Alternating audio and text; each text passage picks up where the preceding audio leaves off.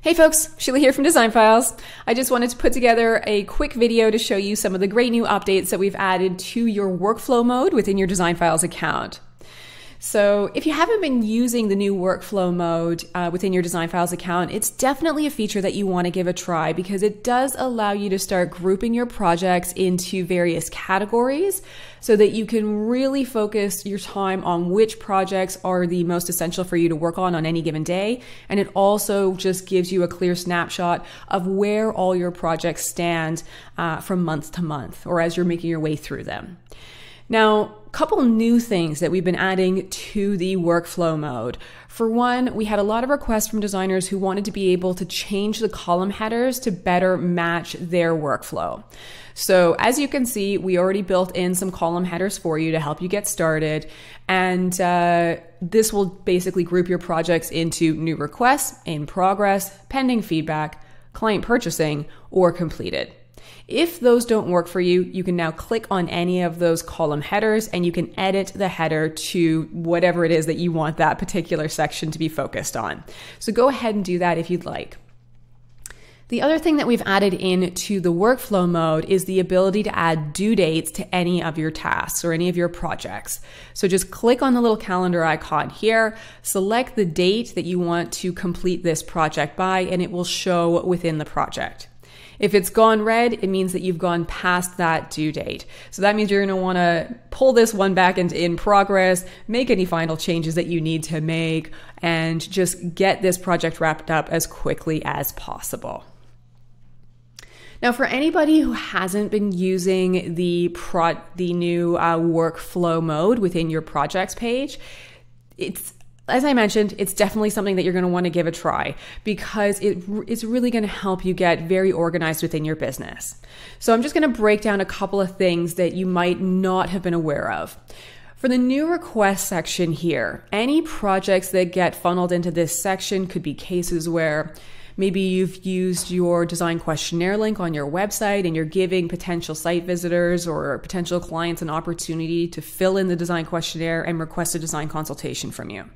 If you've been doing that, anytime a client fills out the design questionnaire on your website, that job is going to get funneled into your new requests.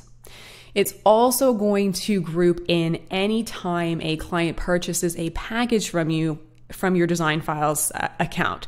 So if you've been using the packages page here to sell online packages, when a client purchases one of those, that job is going to get funneled into the new requests, at which point you can click on the link to see all the details for that particular project. And if you want to take it on, just drag that project into the in progress column.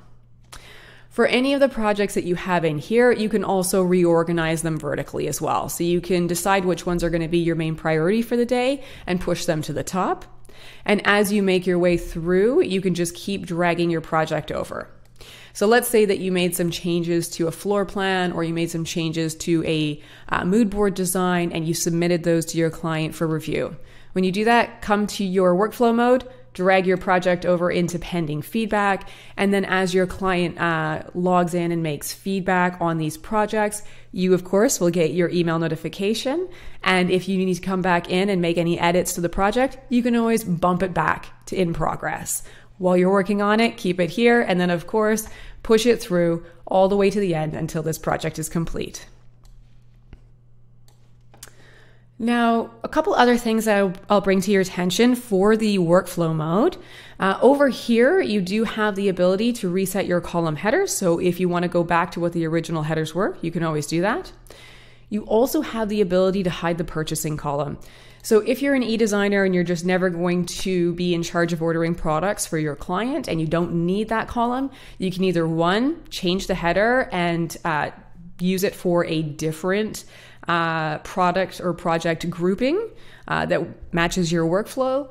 Or if you want, you can remove any projects you have currently in the purchasing column, come up to the gear, and that will give you the ability to hide the purchasing column.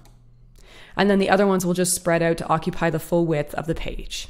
If you want to bring it back, click the gear, turn the toggle off, and then of course you can start pushing projects into the purchasing column if you do want to use it.